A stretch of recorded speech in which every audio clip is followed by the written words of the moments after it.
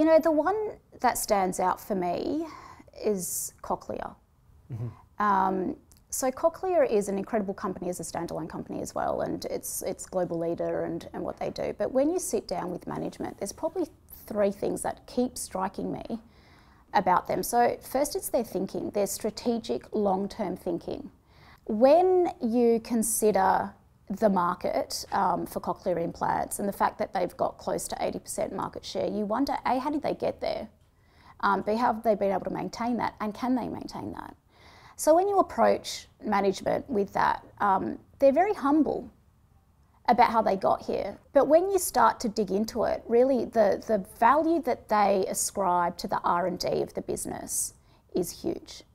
And you have not seen them cut R&D, even though, and to put this into context, 12% of sales, which is their R&D spend, is more than all their competitors put together.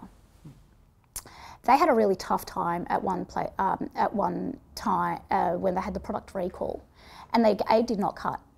They did not cut R&D spend. They did not cut the dividend, even though they were working through quite a difficult period because they had no earnings.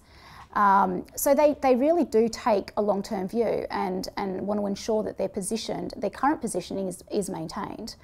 Um, the other part of it is that they're, they're not sitting on their hands. They're constantly thinking about disruption. And they've got this little sort of startup tech business going as well, um, and it's all centered around implantables.